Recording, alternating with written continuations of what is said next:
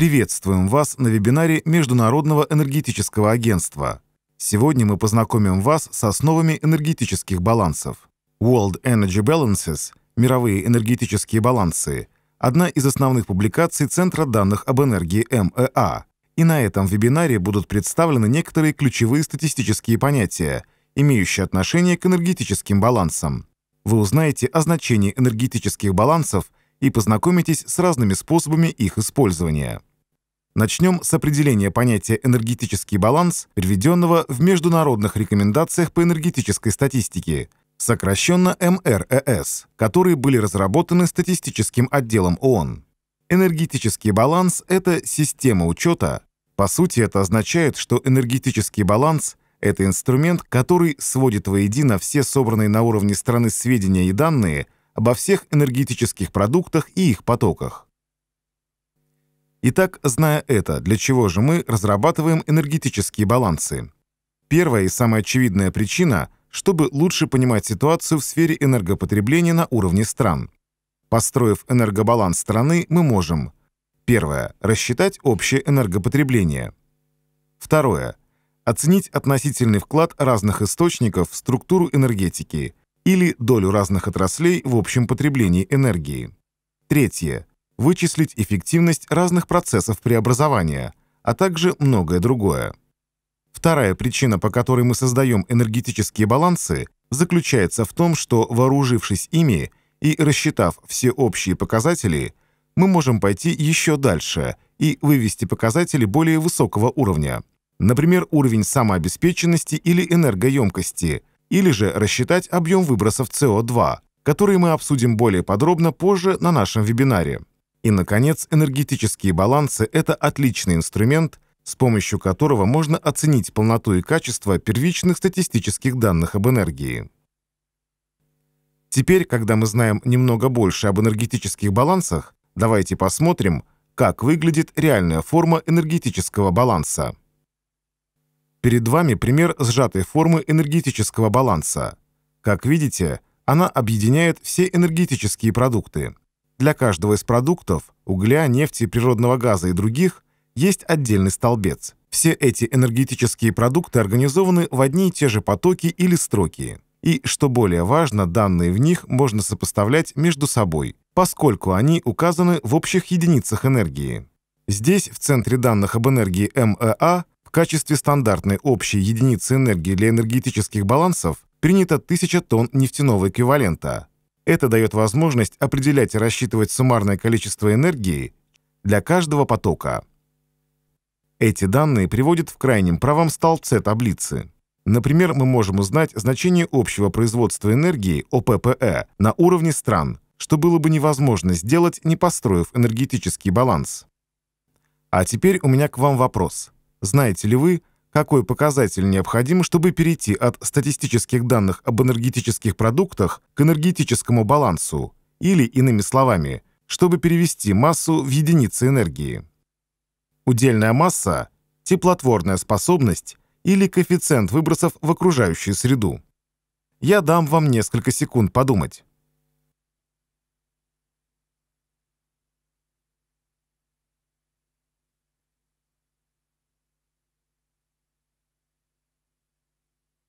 Хорошо. Как многие из вас уже догадались, нам необходимо знать значение теплотворной способности каждого продукта. Теплотворная способность обычно исчисляется в единицах энергии на массу, например, в килоджоулях на килограмм. Ее значение может отличаться для каждого отдельного энергетического продукта, каждой страны, каждого потока и даже может изменяться с течением времени. А теперь давайте рассмотрим различные потоки энергии, которые входят в матрицу энергетического баланса.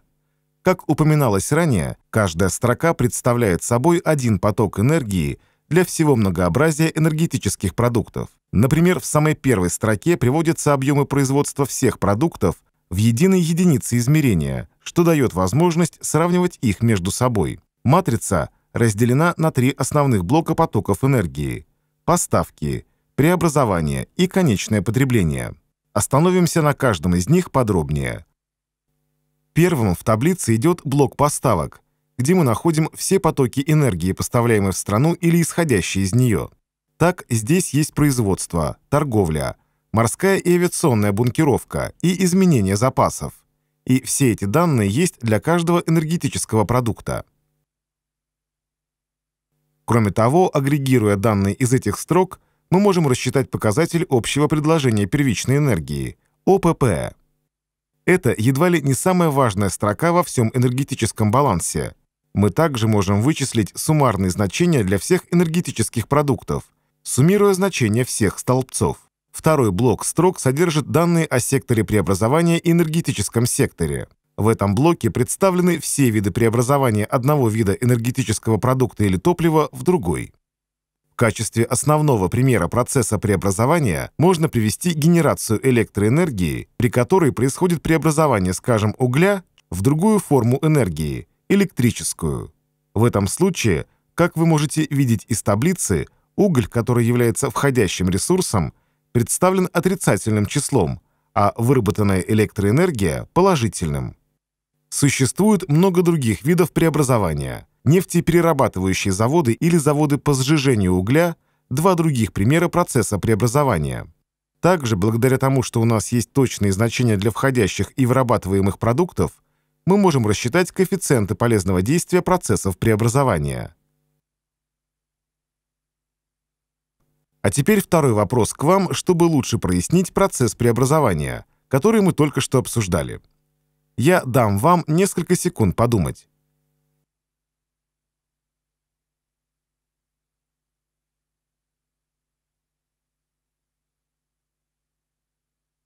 Итак, правильный ответ 35%.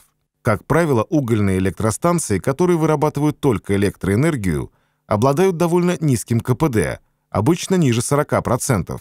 По сути, мы рассчитали средний КПД угольных электростанций во всем мире на основе данных нашего последнего выпуска World Energy Balances – мировые энергетические балансы.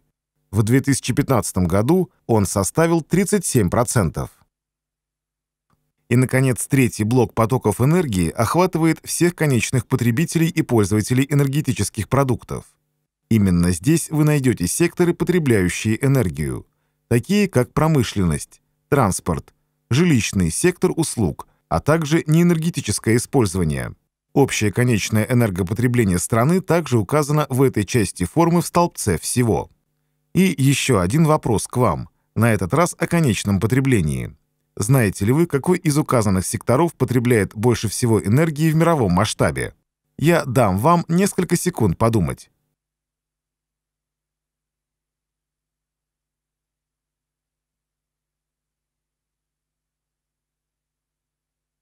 Ответ – промышленность, которая до сих пор остается самым энергоемким сектором в мире, но лишь немного опережая сектор транспорта, как мы сможем увидеть на следующем слайде. На этой круговой диаграмме представлены данные из публикации MEA World Energy Balances «Мировые энергетические балансы за 2017 год». В 2015 году основным потребителем энергии был сектор промышленности, на который приходилось 28,9% общего конечного потребления. За ним с минимальным отставанием следовал сектор транспорта – 28,8% замыкал тройку лидеров жилищный сектор с долей в 21,9% мирового энергопотребления.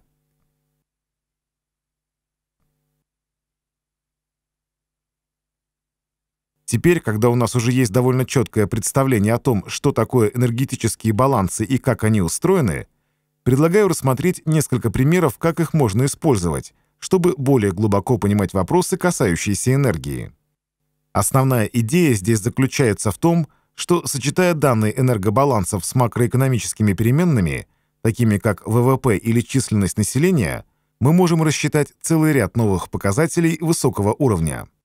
Например, для каждой страны можно рассчитать степень ее самообеспеченности энергией, энергоемкость или потребность в энергии на душу населения.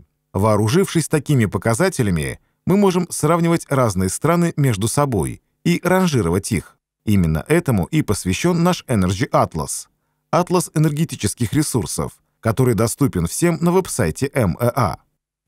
Приведем еще один пример. Эта диаграмма показывает уровни энергоемкости разных стран. Энергоемкость определяется как отношение общего предложения первичной энергии к ВВП и представляет собой количество энергии, необходимой для производства валового внутреннего продукта страны. Мы видим значительные различия по этому показателю между странами. Например, энергоемкость взятых всех вместе стран-членов ОЭСР ниже, чем группы стран, которые не входят в ОЭСР. При расчете объемов выбросов СО2 в результате сжигания топлива МЭА также берет за основу энергетические балансы. Осуществляется такая оценка путем сочетания данных энергетических балансов и методологии межправительственной группы экспертов по изменению климата МГЭИК. Этой теме будет посвящен отдельный вебинар МЭА. Аналогичным образом энергетические балансы могут служить отправной точкой для мониторинга энергоэффективности, поскольку они содержат данные о разных секторах конечного потребления энергии. Этой теме – также будет посвящен отдельный вебинар МЭА о показателях энергоэффективности. И, наконец, энергетические балансы также используются в качестве основы для построения прогнозов и анализа сценариев, поскольку они действительно обеспечивают сопоставимость стран между собой. Поэтому различные подразделения МЭА часто используют их в своей аналитической работе. Теперь о распространении энергетических балансов. МЭА – ежегодно издает публикации World Energy Balances «Мировые энергетические балансы» и World Energy Statistics «Мировая энергетическая статистика». Эти две основные публикации базы данных доступны в печатном виде и формате PDF, а также в виде информационного онлайн-сервиса, состоящего из нескольких наборов данных.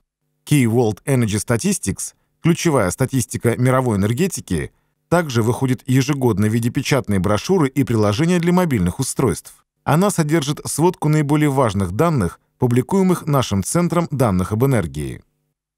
Спасибо за внимание. Если вы хотите больше узнать об энергетической статистике МЭА, у нас есть много полезных ресурсов. Наше руководство по энергетической статистике, которое доступно на 10 языках, можно бесплатно скачать с сайта МЭА. Также приглашаем вас посетить веб-сайт статистики МЭА, где можно найти множество ресурсов, в том числе вопросники, глоссарий и документацию, касающиеся наших методик сбора данных. Также вы можете ознакомиться с публикацией ООН «Международные рекомендации по энергетической статистике», в которой содержится методологическая база для нашей работы в сфере энергетической статистики.